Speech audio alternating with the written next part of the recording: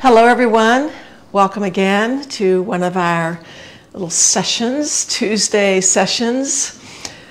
So it is September and it's after Labor Day, and that always means I can't wear my white shoes. I know that's not true, but um, it just feels that way to me. I'm thinking about fall and I'm thinking about pants. And so, of course, I'm thinking about our September project for So Confident which is the Helix pants in this beautiful Ponte knit.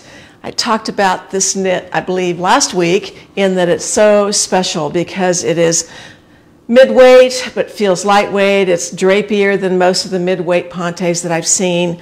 Has a very, very, very subtle sheen to it. I wouldn't call it shiny at all. It's still very matte finished, but it's just a nice, smooth, beautiful Ponte knit that we are carrying in kits in black, pottery, and steel, and this is the steel color. So I hope you'll join us uh, for either the monthly workshop, which you can sign up for, or of course, if you're a yearly member, you have it. The video released last Friday. I know many of you have watched it because I've heard from you over the weekend. Thank you very much for that.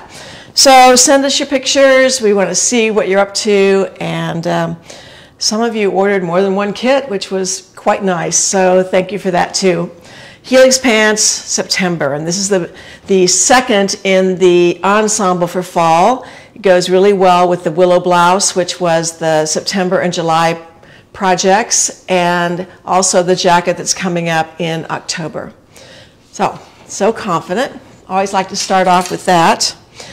This month is National Sewing Month, which I really don't keep track of, but I do get notices from Threads Magazine, and they notified me that it's um, National Sewing Month. And you can sign up on their website for all kinds of goodies this month from vendors such as Clover and uh, Batik Fabrics. That's not quite the name of it, uh, but they have, they're giving away over a thousand dollars worth of gifts, and so you can sign up for the Threads National Sewing Month sweepstakes, and it's free to sign up. So go on their website and sign up for the sweepstakes, and maybe you'll win something or all of it. Uh, sounds like fun to me. I always look forward to the fall fashion issue of the Wall Street Journal. So, of course, I devoured it over the weekend. But I was looking for what I would consider fall trends. And frankly, I didn't see anything particularly new about this. Now, it's always fun to look at, and the clothes are out there and things that I'm not going to actually replicate or certainly I'm not going to buy, but it's always interesting to see. But it seems to me like the color theme is something that we've had around for my lifetime, which is black and camel. And the only thing I really picked up on is that it's time to get out your silver shoes. Daytime, evening time, anytime. So I dug out my silver sneakers today and I have them on. They are by P448 and they're the most comfortable shoes that I have. So I just thought, okay, I'm right in. Even though these are several years old, I'm digging them out. So check out the Wall Street Journal fall fashion issue. Now, coincidentally, today I got an email from Linda Dickey who gave me a link to some wash that she uses in her laundry. And it's called Glamorous Wash. Well, I'd actually heard of this, and Samantha Plo and Rhonda Gaddy had told me about this product called Glamorous Wash uh, when we were sewing together a while back, and I ordered it on Amazon, and it really is nice. Uh, you don't use as much as they say to use. I don't use it as my primary detergent. I just add a little bit just for the fragrance, but it does make your fabrics that you pre-wash, and of course your laundry, your sheets, whatever, just have that wonderful odor to it. And now my whole sewing room, which is also my laundry room, kind of, sort of, uh, all smell just great. So I recommend it. Uh, it's not particularly expensive, but it lasts a long time because I don't use much more than a capful of this. Just throw it in the wash with my other detergent and it makes everything smell great. All right, so we are introducing a pattern today, a digital pattern. It's not a new pattern, it's actually over 30 years old, but it is the very first pattern that we ever introduced, and it's called the Japonesque top. So the story about the Japonesque is that I bought the Sewing Workshop School in San Francisco in 1991. And I bought it in something like December, and in January, I got a notice that the American Sewing Guild was going to have their National Sewing Convention in San Francisco that year. And would I teach? And I went, oh, I guess so. I've never done that before, but uh, sure, why not?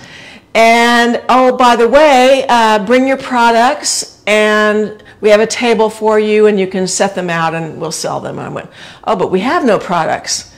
Well, I decided to put something together. So this is a garment that I had been looking at and I soon kind of realized after buying the school anyway that we kind of needed some products to draw people to San Francisco to take classes because we really were a school first and foremost and only at that time. But to get the word out, I felt like we needed something to attract people to actually travel to San Francisco, a reason to take a class. So we had this garment and we had a pattern, kind of a, you know, maybe one size of a pattern. So I remember copying by hand about 200 of them on big sheets of paper and typing, because I don't think I had a computer then, typing some instructions, no drawings whatsoever, no illustrations, just one, two, three, four, five, and on 20 steps of sort of kind of how to put this together.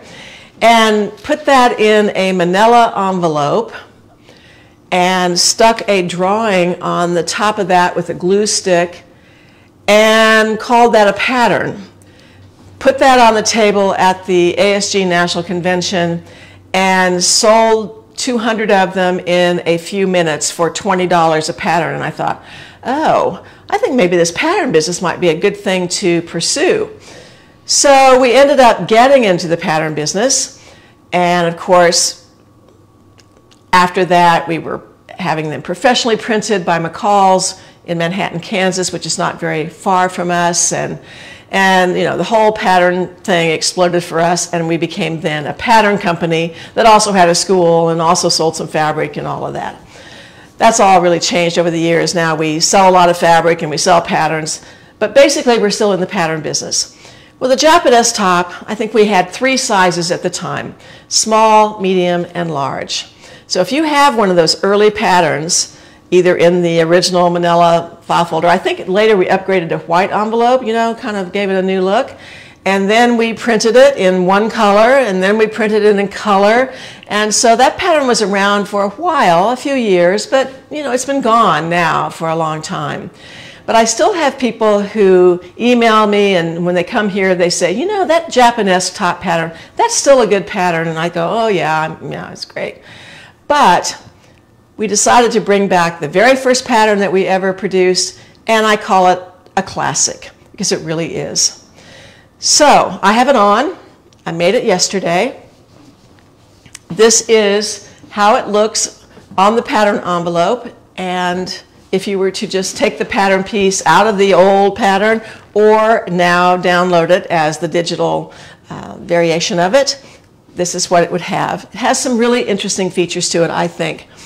Um, it has one button at the neck, so you have a, a different right front and left front. They're shaped differently. You have a tab that comes out of the left side seam and buttons to the bottom of the right piece. There is a, an, either a tie, a button, or another tab that you can put that connects the left front to the right side seam. And I like this tie, which is what I did on this one, because that means you can kind of adjust it to how you want it to drape. And pretty full sleeve. And then the back has a yoke. And it's a double yoke, so all the seams are nicely finished. And then it has this great pocket, kind of a bag pocket. So it's loose on the bottom, but it's definitely sewn down. so it's secure. And it's just a fun detail that you can put any place. Now this is where the pattern has you put it on the right hip, but it'd be great on the front. It'd be a great pocket to use on any garment. It'd probably be worth buying the pattern just to get this pattern piece and figure out how to make it. But I, I love that uh, look. But you can see that the profile of this is such that it is fairly large at the top through the shoulders and the arms, the sleeve, and then it tapers, and depending on how you wear it, uh, you can cinch it in a little bit. It's definitely pegged. I will call it pegged. And um, I just think it has a great shape to it. Now, to wear it like this, you're probably going to want to wear something under it. And I happen to have a Mix-It tank on underneath mine. And I like the way I've made it a little bit longer. So it just sticks out so you can have a little bit of contrast and it helps define what's happening at the bottom of this with this asymmetry and the drape of this right front and so forth. So I'm going to show you lots of variations because we have made this garment over and over and over and I think it has a lot of really uh, interesting options of what you can do to it. So Deb just walked upstairs. Let's see what you've got on. You didn't walk upstairs. You probably took the elevator, didn't you? yeah. yeah. So if you take the right front and cut it twice, and so you have the right front and the left front absolutely the same, and there's just one button and loop at the side seam, and then the tie under there, you have a totally different look. So you're wearing that over a fairly classic blouse little uh, collared blouse, and you've let that kind of stick out. And then you have something on the sleeve that's also in the instructions, which is a button and buttonhole. And the buttonhole goes through a couple of layers, so that cinches that full sleeve in. And you can leave it like this, roll it up, or you can cinch it in like that. So from all of the samples that we had, this is the one you chose because of the people. Because the people. Yep. And no, we don't have any of these fabrics left that I'm going to show you because these are pieces that we've made over the years. But uh, I think this is a nice, you just threw that on this morning. Had you even tried it on before that? No, I didn't try it on last week. That was. I figured the pants would probably be close enough. Yeah, what pants are those? Oh, those are the Hudsons. Yeah, with, with the, that bottom detail that has the the two uh, panels on the bottom that wrap. So this was the February So Confident project, the Hudson pants with the variation on the bottom. So turn around the back. Uh, even the yoke is gone on this one, so you can delete that. And the pocket's gone. But there's definitely a longer back, shorter front, and this time the right front's been cut twice. So you think you'll make this pattern? Oh, yeah, definitely. Oh, yeah. Yep. Okay. Well, Great. Even, even Becky was excited last week. Yeah, Becky, who works on uh, in the middle of the week, uh, helps Deb out. She liked it, huh? Yeah, Yes. she she was pretty into it. I, could, yeah. Yep. All right. Awesome. All right, Thank you. Go back to work. All right. And then Erin has on one that is made in velvet. And this one is the right front and the left front, but instead of all the tabs and the buttons, this is just buttoned down, fairly straight actually, a little bit on the diagonal, but not extremely. And it's always too short for Erin on the, on the sleeves, but um, in velvet it's just fantastic. We have a uh, tutorial on sewing with velvet, and of course you can put velvet in your regular wardrobe now when you use the Sulky KK2000 temporary spray adhesive to nail those hems down and seams down so you don't have to fuss with the fabric and pin it and pin it, pin it like you normally do. So what's going on in the back of this one? Uh, again, the yoke is gone. You know, when you're working with velvet, you want to eliminate as many seams as possible because, you know, even though it's not as fussy with the KK2000, it's still a little bit. So no pocket on that one either. So that's been simplified.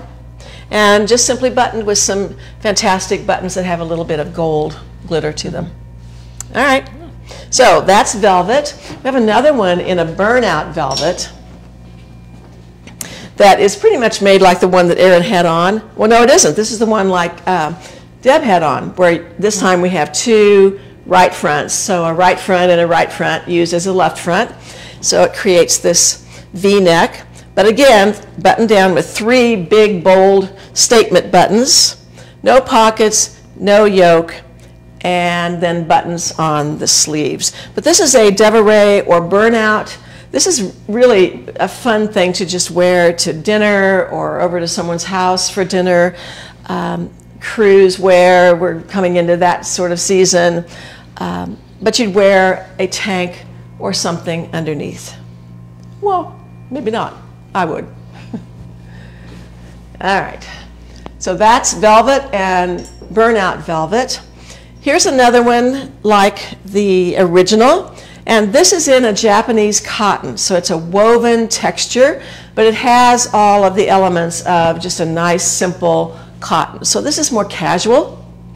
And again, you get this nice crisp look. You get a little bit of drape on this.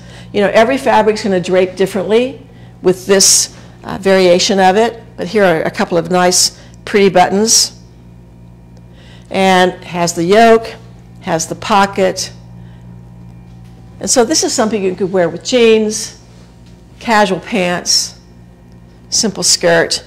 Let's see what we've got here this one has the button. So let me show you this. So whereas this one had the tie that tied the left front into the right side seam, this one actually has the tab, the other tab that can be of any length.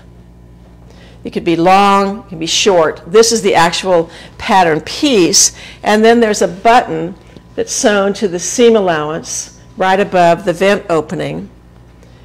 And you would button that. I don't know if I have that buttoned correctly. Yes. All right. So it draws it in. And I like the way it changes the shape. Now you could make this without any buttons and any tabs and any ties and all of that and just simply make a nice drapey. Whoops, there's a certain way you button this. I'm, I'm learning this again. There it is. So that is in a nice Japanese cotton. I like the way this neckline is straight on one side and curved on the other side. So it has one facing, it has a facing for the left front, but then this is just the front hem.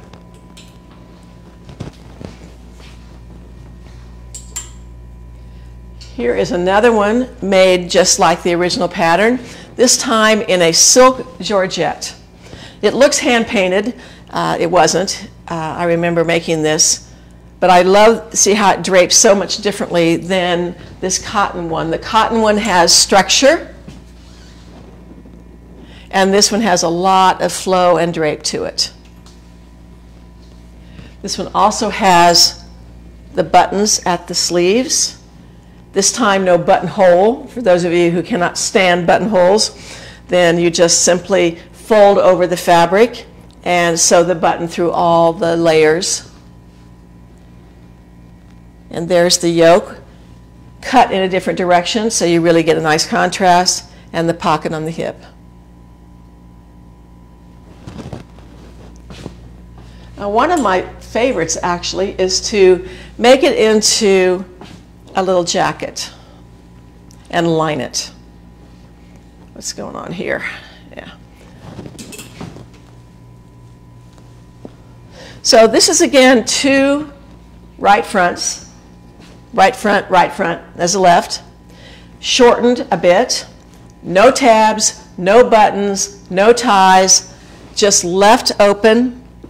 Sleeves are not buttoned, and then it's lined with a gorgeous silk charmeuse. So that just makes a super, super easy garment to make. I'm pretty sure that the yoke is eliminated, yes, and no pocket. So this is something you could put together really quickly. Has a very drop shoulder to it, you have to know that. And it, this is a garment that you're not going to be able to bring that shoulder line completely up.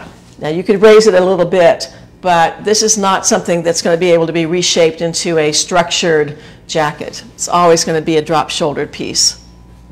But this has the jump at the back in the lining and it has the jump at the bottom as well. So no matter how you move, you're going to not have any strain on the fabric.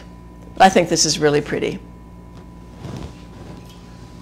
Might have to get this one out. You know, we have this vault of fabrics or uh, garments and we forget about them. All right, here's another variation of buttoning. Again, no tabs, but this time it's pairs of buttons. Just a nice lightweight linen for summer. I would probably be either rolling up the sleeve or I think for something like this, you could literally cut off the sleeve, have a shorter sleeve, and have a totally different look to this pattern. This is almost handkerchief weight linen. Again, no pocket, no back yoke. But the buttoning is really the feature. I can't. there was a reason I did this garment. I think maybe it had something to do with Threads magazine. Not sure about that. But this is pretty much what you just saw in the handkerchief linen. This is a heavier weight linen with the buttons uh, in, in different places. There's two up here and one down here. But some torn strips of velvet that are raw edged. And then I've sewn these down with some decorative stitches in a silver metallic thread. I know this was for a project for something. I just don't quite remember what it was. But I have some of these straight pieces on the right front, on each, or just one sleeve, bottom of the left front, and down the back. So this is a nice piece to embellish. If you are someone who likes to embroider or applique or piece, all of these pieces are shapes of the pattern pieces are so simple and not rectangular, but definitely rectangular-ish. Is that a word? Um, and so they make nice uh, canvases for doing some of your embellishment work that you like to do. This one, I remember who made this. This is made by Dort Johnson, who was the woman who got me into all of this. Uh, Dort was um, my mother's age, and she was the town expert on sewing. And I remember she remade some garments for my mother, tore apart some fur coats. Not that my mother had a lot of fur coats. I think she had muskrat and maybe fox. Uh, but she tore them apart and used them as trims on things. So my mother was finally down to this much fur left from some coat that she had uh, after Dort had done like 10 variations over the course of 20 years with fur. But at any rate, she had a fabric store and she was an expert, and I didn't know her very well. But I remember I wanted to start a fabric store. This was back in the late 80s. And I took Dort to lunch and I said, I want to start a fabric store. I want to open one. She said, Well, can you sew? Well, yeah, I think so. Well, let me see. Did you make that? Yes. Well, you've got some things to learn, but I'll help you. So she helped me open a fabric store. She taught me almost everything I know about sewing, and she became a great friend and mentor over the years. And so I have some of the garments that she made, and this is one of them. And I just, I love this because she's put this beautiful, well, it's just a medallion with a, a, a tassel, just a thing. And there's a snap under here. But I think that's a beautiful little piece and then another kind of dressy button. But I remember her wearing this. Uh, this is a knit, kind of a Raschel novelty weave knit. It has all the elements to it, has the yoke, has the pocket, and she's just simply changed how this buttons left off the tab, so forth. But I can still see her in this garment. Erin should be wearing that one. Erin would look good in that one. This one's made out of some panels of uh, ikat woven silk fabric, and it was at two or three different pieces that actually worked together. This looks like a seam, but it's not. This is the same fabric that's just been woven in such a way that this is almost like a border. Uh, we used to buy these kinds of fabrics at the big uh, trade show out in Puyallup, Washington, and there used to be a lot of vendors who would sell fabrics like this. Has the yoke, pocket, this is even a, a third fabric as the pocket. And again, buttoned down like this. Now this one I can tell has a tapered sleeve. So those are some of the variations in fabric. The one that I have on the dress form is in a uh, jacquard weave cotton. And this is very much like what Deb had on. Again, a right front cut twice with a loop and a button. So it's a chance to use all those buttons that we've collected as singular buttons and you have no idea what you're going to do to them, but it's time to get those out and feature them for a garment like this. But you can see how this has been cinched in with the button in the loop, and then there's a tie on the inside of this. So you have equal drawing in, and that gives the shape to this garment. A yoke, but no pocket. So I think I've shown you almost all the variations that we've thought of, and I know that you guys will come up with even more. So I started in to make this and realized that I wanted to take a little bit of the volume out of the top of this garment. And yet I didn't want to change the hip size. So here's what I did to my pattern. By the way, if you have the original printed pattern, you need to check and see whether you have the pattern that has the small, medium, and large in it, or whether you have the pattern that has the expanded sizes from extra small and then we added extra large and XXL as well. So the newest pattern does have the six sizes. That's what's been digitized and as is the download pattern. But some of those older printed patterns only have three sizes. I think because this pattern is of the era that it is, you should be able to go down a size. So I went down one size to an extra small. But I still wanted to take out some of the volume of the sleeve and under the arm. So I did what I'm going to tell you about here on both of the fronts, the right front and the left front and the back. So I decided to take out an inch under the arm and draw a new line that died to the original width at the hip. So I've taken out this much fabric under the arm. Remember, that is both fronts and the back. So I've taken out four inches out of the circumference of this garment across basically the bust area below the sleeve. So then for the sleeve, in order for that to fit, I again reduced the sleeve cap by one inch on both sides so it would fit the new uh, distance of the armscye. And then I took a tape measure and decided to make the circumference of the sleeve 10 inches. So 10 inches plus a couple of seam allowances. And because the original sleeve is curved, I kept that curve and used a hip curve to draw a new line. So it has a soft shape to it. I think sleeves are just a little more beautiful when they have a little bit of curve to them. Now you could make that straight, and we certainly have a lot of straight sleeves in our pattern line, but that just defines that a little bit. It's a little more graceful. But you choose the width that you want. If you're not sure about that, you can measure something in your closet that you like the um, circumference of, and might be 10 inches, it might be 12 inches, it might be 8 inches. But I decided I did not want the button detail. I wanted a slimmer sleeve all the way. So I've taken out quite a bit out of this sleeve, you know, almost 2 inches of this sleeve circumference, and I like it a lot better.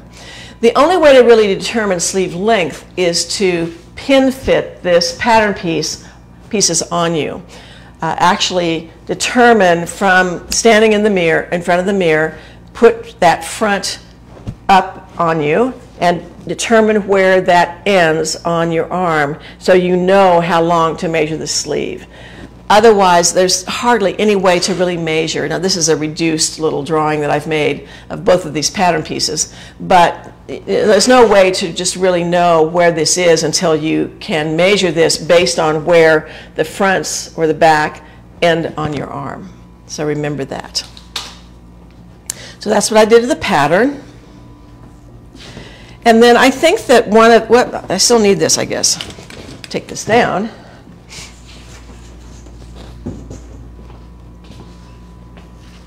So this pocket is really fun, and I think this is a pocket you could use on a lot of things. This is the pocket piece, and there's an upper pocket and an under pocket that has a center fold line. So this hem allowance at the upper pocket actually gets pressed under and top stitched. And this hem allowance on the under pocket gets pressed up to the right side, which just seems weird at the time. And then the pocket gets folded in half, basically with the right sides together first. And then you sew from these dots down. That's what makes that pocket loose. So this bottom half of the pocket is actually loose. And then these seam allowances get turned under and the pocket is sewn to the garment. You actually sew it the under pocket first on three sides and then you sew the upper pocket just on two sides. So it's a really simple pocket to make. But you know, I, it reminds me that we used to have in our pattern line a lot of these interesting details with po unusual pockets, mostly borrowed from Japanese designers such as Issey Miyake. We've gotten away from that just a little bit, but it reminds me that, you know, we should be rethinking some pockets. Uh, I remember uh, one of the teachers at the sewing workshop, Pat Moyes, wrote a whole book on pockets. It may still be around. It's probably not published anymore, but um, you could look for that. And she had fantastic ideas for all the kinds of pockets you could put on things. So that's the pocket. Now, there were some things that I, in the construction of this, that I knew I couldn't live without. There are a lot of hemmed edges, excuse me, and uh, every edge, basically, except for the seams, the side seam and the sleeve seam, are turned, turned again hems. And because this is just long enough ago, we're only turning a quarter of an inch and then the hems are an inch and a quarter wide finished. Well, a quarter of an inch on certain fabrics is a little bit difficult to deal with. But first of all, you just really can't live without your, your pressing templates. Both the one and a half, which is the hem allowance, and one and a quarter, which is the finished hem width. So you're turning down an additional quarter of an inch. And I can't do that without pressing the templates. I have repeatedly talked about how to do this on Facebook Live, so I won't repeat it again. But it's clearly written in the instructions of how to put the first one down and get the full hem allowance pressed first, and then you put the smaller template in the crease that you've just made, and you press up the quarter of an inch over the bottom of the template. But then, immediately, if you don't have Fusiweb, you're going to be sorry. If you've never invested in FusiWeb, this is, I think, a chance for you to do that. Because this is a paper covered line of glue that then I put on the very edge of those uh, turned edges. And that keeps that quarter of an inch folded down. So I don't have to fuss with that as I'm trying to top stitch these hems. This is super essential. But this is really the only way to get nice, even hems I do use my Chalkener and straight edge to mark the top stitching line a little bit. I like to do my top stitching on the top side of the fabric rather than the, on the underside. I can get, I think, a smoother look because I'm not looking at the edge of the hem. I'm looking at the edge of the garment and uh, sewing an even distance from that. There are, I think, at least five miters on this garment something like that. And even though we have instructions for mitering the corners, I think that maybe there are six. Anyway, you get your practice on this with miters. You know, we have our Mastering Miters book, which we're almost out of, by the way. This is sort of the last call, in a way, on a printed Ma Mastering Miters book. We're going to be doing this in digital form soon, so we'll always have this, but for the printed version, we're just about out of them. So, my essential tools my Mastering Miters book, my hip curve, Chalkener, FusiWeb, templates, walking foot, even feed feature engaged, whatever, whichever you use most often. Because you're doing a lot of top stitching and you don't want things to crawl, although they're not going to because you're fusing those hems down, but still, a, top, a, a, a walking foot is, is really essential. All right, any questions? Yes. Um, so quite a few people really liked the jacket, the line jacket version. Yeah. Um, could you try that on? Can I try it on? Sure. So you're going to make me undress, huh? I didn't know if it would slip over. Well, maybe, yeah, I'll just put it on. This. Good idea. That's what I was hoping, anyways, when I Yeah. offered it up. Good idea.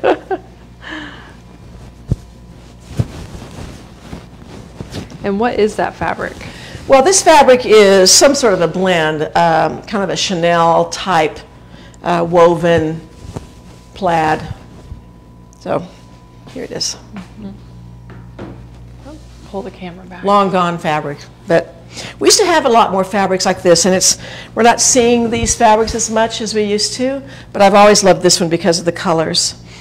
So And could you turn around one more time? Sure. I didn't have the camera positioned. And you said this was shorter, right? That's cute. yes, the- all the pieces are shorter, and the front and the back are essentially cut the same length. And then I also wanted to see the Dortz version. Can Oh, okay. Put that one on. Yeah.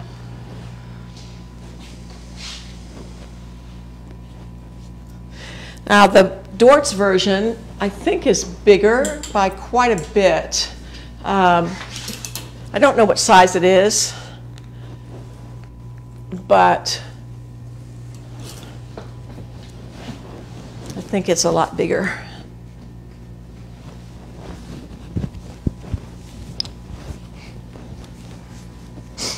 Well, the sleeves are definitely longer.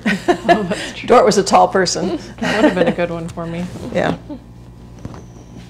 And the snap.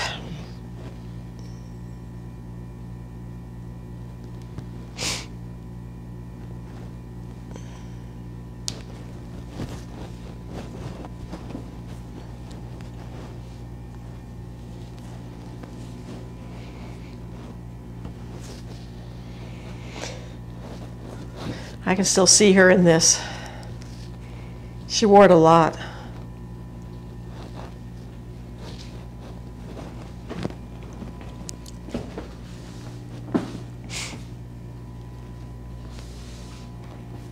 That looks nice. I do like that longer version. Yeah. I don't know if this is longer or if it's just a bigger size. Oh, okay. Okay. I, I don't really know. It's it's a. I have the feeling it's just a bigger size because it in the grade of the sizes it does get longer. It's quite a bit longer with the extra large. I Right. remember. Yeah. I have the feeling this is probably an extra large. I, I don't know that, but so And that does bring up kind of a correction. So the it does go up to extra large and Yeah. not extra extra large. oh oh is that right? Okay. Right. That was with the original or Okay. second um, version of the pattern. Okay. So we've only we only have um, Extra uh, small. five sizes. Right. Extra small to extra large. Correct. Yeah. Right. Um, and then the green one behind you is that what's that fabric? Oh, this fabric is wool jersey. So it can be made in a knit. This is a knit, and this is a knit. It'd be great in a ponte knit, uh, I think. Something with a little bit of structure to it. You know, it's really difficult to find wool jerseys now. In fact, I don't think we have one in our inventory at the moment. I don't think so. They're really difficult to find. And if you find them, uh, they're generally in merino wool, which is fine. Uh, but that is the kind of wool jersey that does not shrink when washed. And, you know, that's always the kind of wool jersey that we used to f- want to have because we wanted to shrink it and boil it and uh, felt it and all that. But hard to find. Um, so your white um, top underneath Yeah, this is the Mix-It tank. is that the original length of the tank, or did you Yes. lengthen it? No, this is the original length of the tank. This is all the same size. It's just in a crinkle polyester something or other. And it's a couple inches, maybe two or three inches longer than the front of the jacket at least. Yeah. Okay. And you know, I've had this tank. I didn't make this tank just for this. It just worked. I put it on and it worked. Can you turn around again so they can see the back?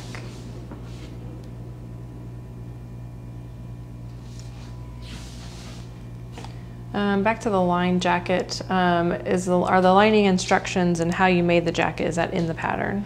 No, the pattern instructions are if you make it just like this, uh, unlined, tabs, button placement like this.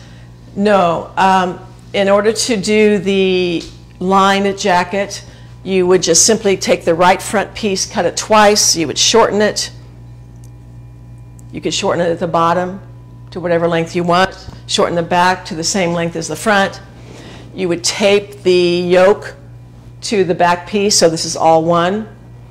And then uh, we have a tutorial called Bagging the Lining, which shows you how to cut a lining for any garment and how to sew it.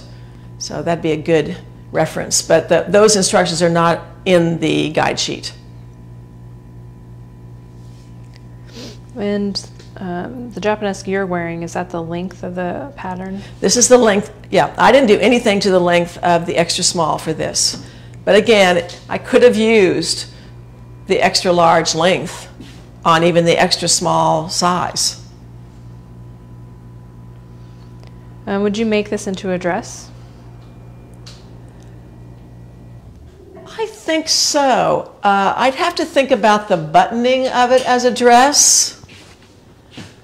Um, I'd also have to think about the circumference at the bottom and how to connect that. But I don't know why it wouldn't make a great dress. I think you could also have this literally sewn up as well and not have it button at all. And just have it as one piece, maybe leave a little bit of an opening here so you can get it on. And maybe check the angle at the front, like wherever you want it to hit at the bottom. Right. You might check that. You might have to redraw that angle. Yeah. I think it'd be cute. Okay, Samantha, the challenge is on.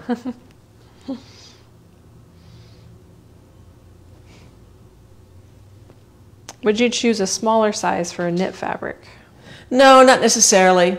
Uh, this is a garment that is pretty much oversized, generously sized. I think in uh, most knits you're going to be fine making the same size. I mean, if you're if you're using some sort of a super drapey tissue weight, something or other, yes, you could probably go down a size. But um, I generally make the same size in a knit or a woven.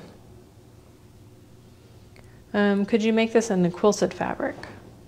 In the quilted fabric? In a quilted fabric? Could you Sure. That? That'd make a great jacket. Like kantha? Kantha cloth or the um, stitched matelassés that we have, those mm -hmm. Merchant Mills mm -hmm. pieces, that would be nice. Make a great, great jacket.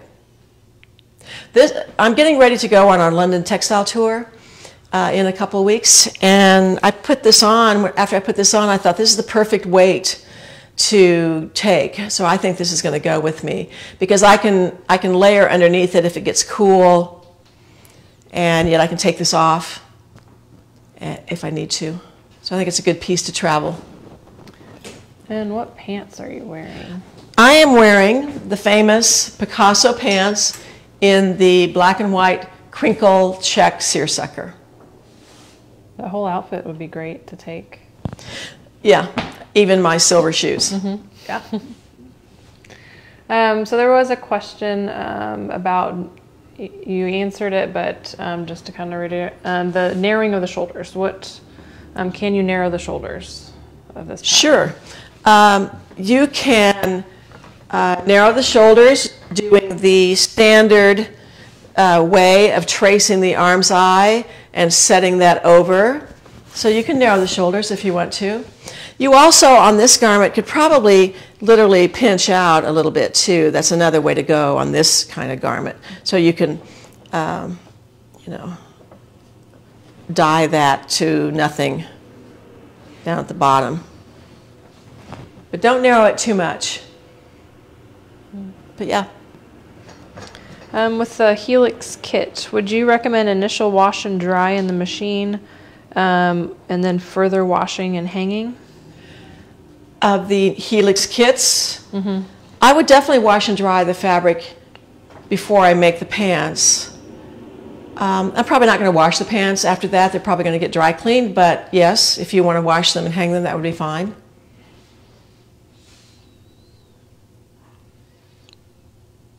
And just to confirm, um, Linda, did you go down a size and alter the pattern to make it smaller than the extra small? Yes. But just, but not in the hips. I made, I started with the extra small and I took out the inch from the extra small. Okay, that's all I see. Okay, so let's look at some fabrics. So I have on the uh, cotton and linen matelassé that we used for the Sterling jacket projects for Sew Confident in January. Uh, obviously, this is the black one. I know that black doesn't necessarily show up on the screen, but I just really wanted a black top and a black jacket, so I made black.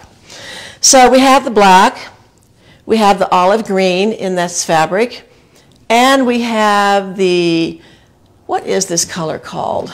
Raisin. Uh, raisin, raisin color, very interesting color. And you see the tonal change of the jacquard weave. Uh, this is actually the wrong, well, I don't know. You can use either side of this fabric, but it is different. And I chose to use the side where the these motifs are the smooth side, like this. But you can use either side. There's definitely a texture change. This is more smooth, and this has a little weave to it, the darker part. So, and then we have it in the oatmeal as well. So then the other jacket fabrics that I think would be fantastic are these crinkle cottons. And here's a, a beautiful burgundy color, olive, and cinnamon, auburn color in that. We also have another jacquard that has a floral pattern to it in this goldenrod color. Again, you could use either side. Depends on whether you want it to speak to you in a darker tone or a lighter tone. And then Erin put together some fabrics, some knit fabrics that you could make the second layer. You could make either the ET, if you want a sleeve and a little higher neck, or you could make the mix-it tank, either one. So here's a beautiful blue, just a great denim blue to wear with so many things, but it could go with the oatmeal. I think it goes with the olive. Or you could stick with your uh, autumn tones and make uh, a more golden color of t-shirt with either the olive or the golden jacquard. This is the rib knit that's a little bit darker, but again, I think this goes with the auburn um, cotton, crinkled cotton, goes with the olive. Everything goes with oatmeal. This is, again, the rib knit in a gray. You know, if you want something a little more subtle, I've chosen to put white under mine, but gray would be great. I love this combination of purple or eggplant with olive. That's a fantastic combination. And then we have the rib knit in this ruby color that goes with either one of these. So those are fabrics that I recommend for combinations for the Japonesque top and either the ET or the mix-it tank. So how does the fabric sew? Is it an easy fabric to This is an easy, this was a super easy fabric to sew. I mean, I didn't, I didn't have any problem sewing it whatsoever. It wants to stay in place, particularly with that FusiWeb. Uh, it steams nicely. I didn't get any ripples with it. Um, I've done other projects in the crinkled cotton. I did a Zen jacket that I just love, and that was an easy sew. So those for the for the Japonesque tops that I'm showing are are easy, super easy. We have enhanced the instructions a bit from the printed version to the digital version. We have filled out the illustrations, added some text, tweaked it a little bit. Didn't do a huge major overhaul of it, but definitely um, added some, some nice instructions for you. Uh, the knits are knit, you know, it's, it's everything from cotton to viscose and, you know, if you're comfortable with knits, you're not going to have any trouble with any of these knits as well. Um, do we have any black rib knit available? I don't know. We might have to check that out and Yeah. add a link later. I have the feeling we do, but I, I'm not sure. I know we have a deep, deep, deep navy. Uh, we might have black. Um, and somebody also asked about the yardage for the Japonesque, and that's another thing that Yeah, uh, we can are post kind of that. I think it was two yards. I used two yards for this. I miscut. You know, the sewing gods were not in my favor yesterday. By the time I downloaded the pattern and printed it out on eight and a half by 11 sheets, it only took me like 15 minutes to tape it together, but I didn't have any tape. So I had to go to the, to the drugstore to get the tape. So then I did that, and, and it still didn't take me any time at all to tape it together. And then I miscut the back, whole other story. And by the time I did that, then I didn't have quite enough fabric for the second yoke, so I have a contrasting yoke in this one, which is fine. So I had to be a little bit creative. Uh, but two, I remember cutting off two yards for the probably extra small through about a medium, and then maybe two, two and a quarter for sizes above that. That's a 60 inch wide fabric. Can you hold up the um, the Diva Wash, or I can't remember exactly what that's called, but Yeah, glamorous wash. yes, glamorous wash, and it was a, was it a certain scent? Well, this is Diva. I don't know if Diva is the scent. Oh, okay, I think so. That's what It I might be. See Samantha's reply. Okay. Diva, but there was a couple questions about that. Yeah. Okay. Um, where would I send pictures of an outfit I made from your Cubist print fabric? Well, you can post it on Facebook, on the Sew Along uh, Facebook, or you can send it to Linda at sewingworkshop.com or Betsy at sewingworkshop.com, either one. Betsy's the one who actually posts things. So if you send it to me, it's going to go to Betsy anyway. She's on vacation for a couple of weeks, so if you send something pretty soon, she's probably not going to get to it for a little bit.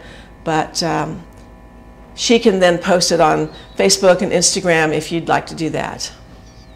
Yeah, we love to see pictures. We some we many times put things on our gallery as well on the website.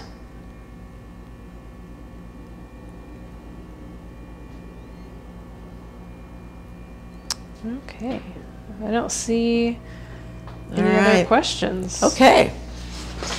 So, on sale this week, the new Japonesque top digital pattern,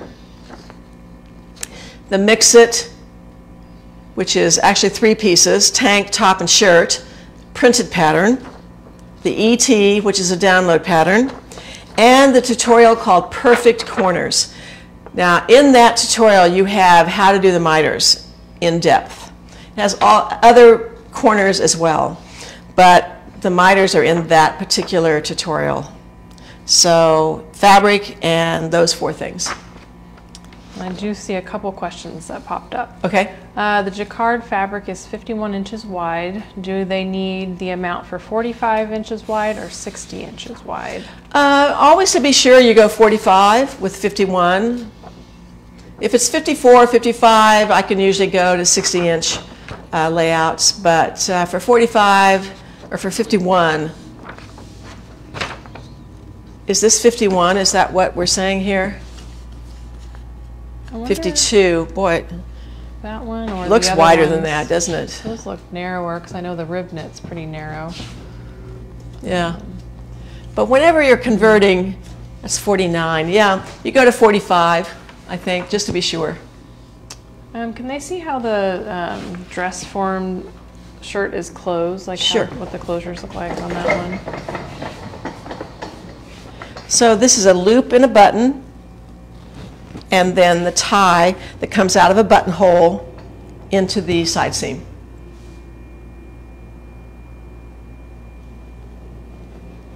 Okay. Okay. Don't see any new ones. Okay. Well, thanks so much for joining me today. I really appreciate it, and I will see you next Tuesday.